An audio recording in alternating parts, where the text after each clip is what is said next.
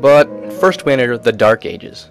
It's that little sliver between the cosmic background radiation and the first stars that form that you see on the image. Though the sliver is pretty tiny, it constitutes about a 400 million year period of time. After this, the first stars begin to form. But wait, we have a problem. If the matter is all evenly distributed throughout the universe, how could it come together to form stars? The average density of our universe is so incredibly small that no particles should have come together to form the stars and galaxies if they were all distributed evenly. Matter must have been distributed more so in one part of the universe than in the others. But saying it doesn't make it so. We need to look for evidence for this. Let's go back a bit. Here we are at the inflationary period. One new thing we should note about this era of time that we didn't look at before, well, it comes from quantum theory. The uncertainty principle, a hallmark of quantum theory, predicts that particles and their antiparticles will spawn at, at random in space. This occurs very quickly and only on the smallest of scales. These are known as vacuum fluctuations. In the tiny universe we have during inflation, these vacuum fluctuations would have been very dominant. The important thing to notice is that when these vacuum fluctuations appear, the universe is denser in those regions than in the regions where there are no particles. Then we have our inflation that we went through earlier. These regions of extra density are expanded by inflation, and the voids in space are also made bigger. Thus, we have denser regions and empty regions.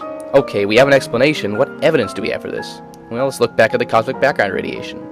See all those different colors? Those show minor fluctuations in the smoothness of the background radiation. Though some of it's due to the radiation emitted by the measuring instrument, it does demonstrate that the microwave radiation from certain parts of the universe have a longer wavelength than other parts. Why is this important?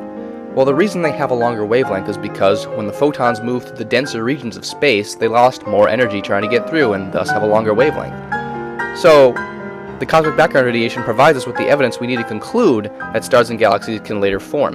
There are denser regions and there are not so dense regions in space, and those denser regions are mapped in the cosmic background radiation by the longer microwave wavelengths. That's really the explanation for them.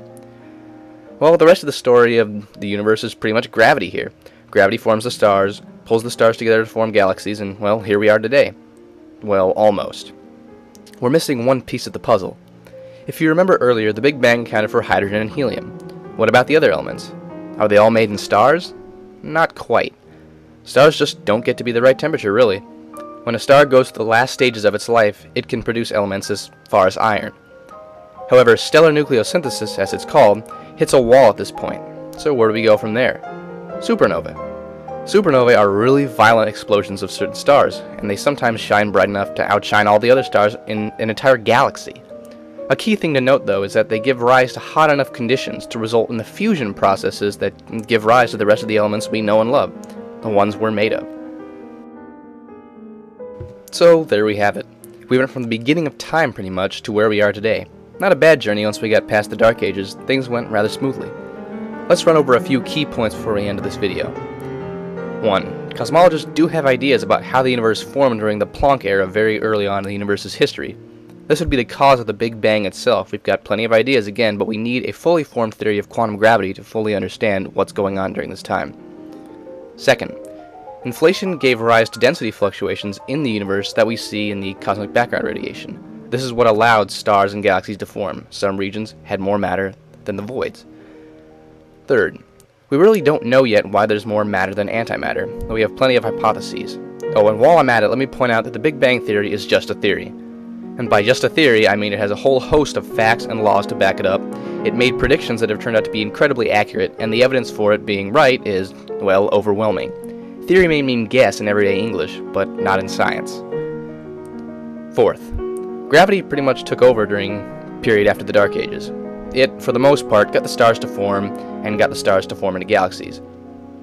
Fifth, Big Bang nucleosynthesis, stellar nucleosynthesis, and supernova nucleosynthesis gave rise to all of the elements we are familiar with today, with the heavier elements all being formed during supernova explosions.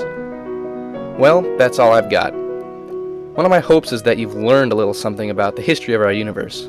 The other is that you've gained a bit of appreciation for the power of science in tackling questions that didn't seem possible to answer.